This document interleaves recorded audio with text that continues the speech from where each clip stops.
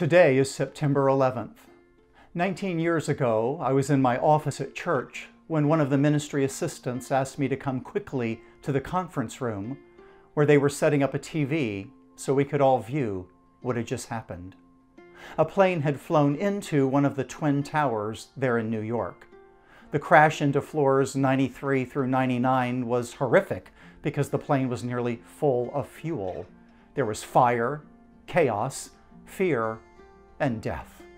Those poor souls who worked there and in the floors above.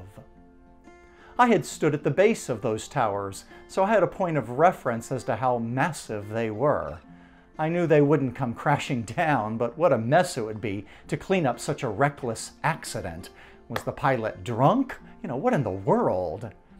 So as newscasters speculated about the accident, the cameras directed toward the towers picked up a second plane. And we watched as it flew directly into the second tower. I remember one of the newscasters swearing in shock, and then everything went silent as we struggled to grasp what was happening. The staff and I stood staring and then started praying. We realized the crashes were not accidents, but attacks. The two fires intensified, and then, nearing the one hour mark, the first tower began to crumble and came crashing down. I remember our reactions were loud. We couldn't believe what we were seeing. Many cried, Who? How? Those poor people still inside the tower. We kept watching, and 45 minutes later, the second tower came crashing down as well. And at that, we closed the office and went home to our families.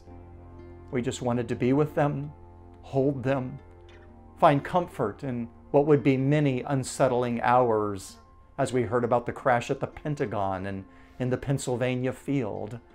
All in all, about 3,000 deaths, 25,000 injuries, Many of those were first responders because while most everyone ran as fast as they could to get away, those brave men and women raced to the scene to help. No wonder they were hailed as heroes.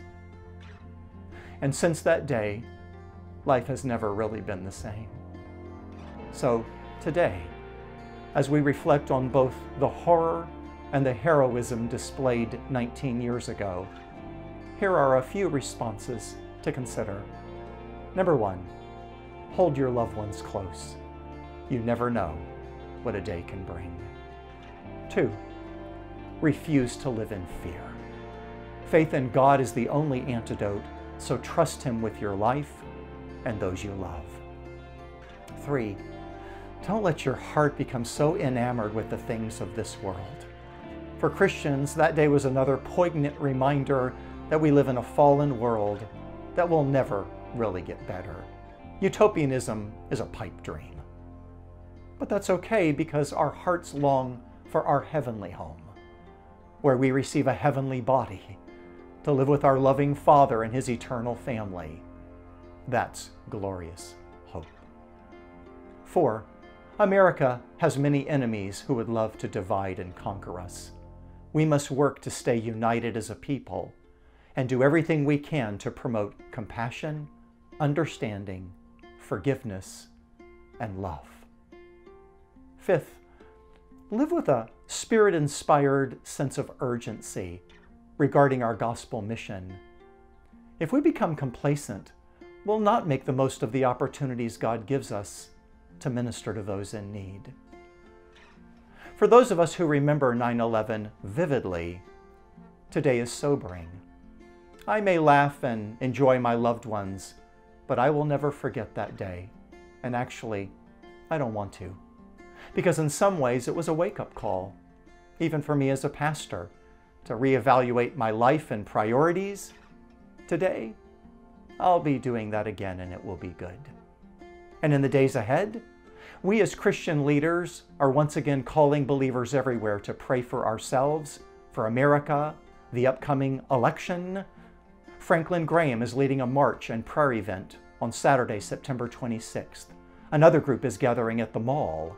We will be gathering here in our own community on that morning to pray, to repent, to look to God, to hear our prayers, forgive our sins, and bring healing to our land. As for today, let's make the most of it.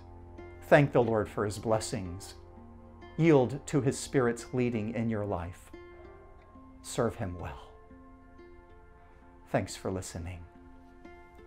And now, may the Lord bless you and keep you. The Lord make his face to shine upon you and be gracious to you. The Lord lift up his countenance upon you and give you peace.